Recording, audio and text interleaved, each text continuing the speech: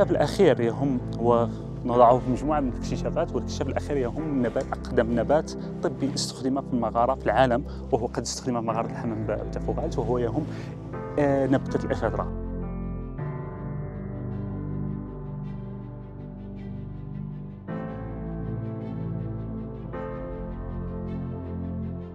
الأستاذ الحسن الطالبي آه، أستاذ باحث آه، ومدير مختبر بكلية العلوم آه، بوجدة جامعة محمد الأول. نتواجد اليوم بمغارة الحمام بتفوغالت وهذه المغارة المعروفة على الصعيد الوطني والعالمي. مغارة معروفة أيضا ب مغارات أنجار آه، هي معروفة بمجموعة من الاكتشافات. أقدم عملية جراحية مثلا 15 ألف سنة أقدم حلي استعمله الإنسان من 80 ل 100 ألف سنة وأيضا أقدم آه، حمض نووي تم الاكتشاف بهذه المغارة. وفيها مجموعة من الاكتشافات لا نتحدث عليها لأنها في آه، في إطار يعني الكتابة لتصدر ولكن اكتشاف اليوم هو استعمال هذا الإنسان القديم الذي كان يعيش بهذه المغارة الإنسان الذي كان يعيش هنا منذ 15 ألف سنة لإستعمال النباتات لغاية طبية. يعني اكتشف الإنسان في ذلك الوقت على أن مجموعة من النباتات لها آه، استعمال طبي واستعملها في هذه المغارة وهذا آه، الاستعمال يؤكده آه، تؤكده مجموعة من الاكتشافات السابقة وهي مثلا هذه العملية الجراحية القديمة.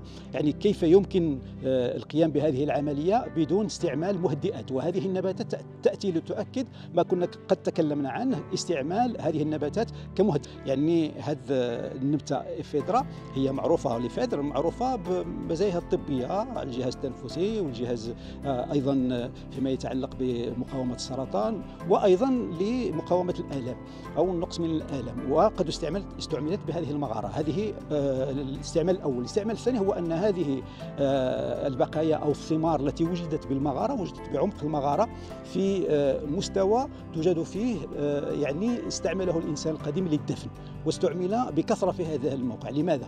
لأن من الممكن أن يكون لهذه النبتة قيمة أخرى بعد آخر ليتم البحث عنها بالخارج واستخدامها داخل المغارة وهذا يدل أيضا على مجموعة من المجهودات التي يقوم بها الفريق العلمي لتافوغالت الذي هو يتكون مجموعة من من الباحثين من جامعة محمد الأول ومن معهد المعهد الوطني للتراث والآثار بالرباط ومجموعة من من الجامعات من أوروبا مثلا من إنجلترا كجمعية جامعة أكسفورد أو من إسبانيا جامعة لاس بالماس. وهذه المجهودات التي أدت إلى هذه الاكتشافات مكنتنا أيضا من تكوين مجموعة من الشباب في هذه التخصصات آه، العديدة. وهذا شيء مهم أيضا.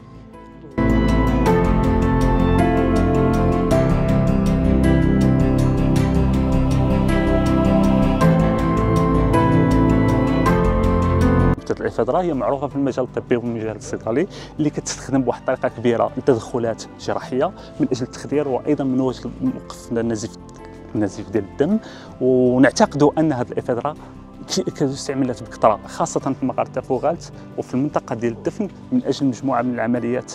وحنا أيضا آه، آه، آه، دلائل على هذا أن اقدم عملية جراحية حول رأس إنسان أقيمت هنا كانت هنا في مغارة تافوغالت بالإضافة بواحد الميزة ثقافية كتميز بها ثقافة الابيروموريزيه وهي خلع القواطع الأمامية ولا بد من أجل القيام بهذه التدخلات وهو وجود نبتة أو دواء يستخدم لهذا الشيء. ونعتقد ان نبتة الافيدرا كانت تستخدم لهذه التدخلات الطبية.